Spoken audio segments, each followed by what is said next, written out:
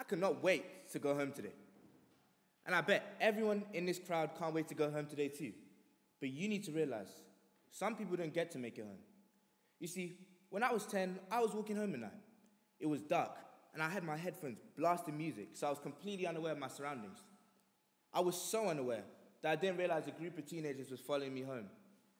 Fast forward a few minutes later, those same group of teenagers had my 10 year old body pinned against the wall, and one of them was holding a knife towards me.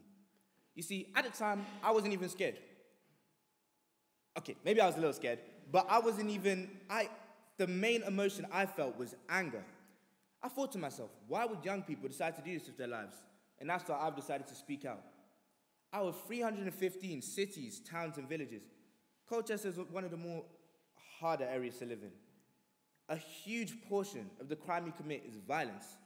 Now, you see, when I saw this, it surprised me because all the people I've met in Colchester have been kind, optimistic. But just because you can't see something doesn't mean it isn't there. It just means you're not looking hard enough.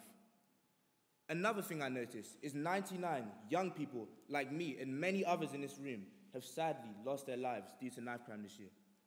This shows why it's such an important issue. If you think knife crime won't affect you, it may not, but it might affect your friends, your family, and other people you love. Now, to continue on with my story, picture me pinned against the wall and a teenager holding a knife against me. They searched my blazer for a little bit until they eventually they found my phone. They took it and um, they gave it back because it was a Samsung. um, I walked home that day a little bit bruised in my ego because no one wanted my Samsung. And I talked to my dad. And what my dad told me, I would like for it to be the final positive message of this speech. He told me young people are the future. Young people have the capability to do whatever they want if they study hard enough.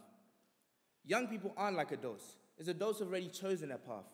But as young people, they can see a path and decide to go the complete opposite way. He told me many other things that day, but there's one last thing I want to tell you. He told me young people need to drop their weapons and focus on their lessons. Thank you.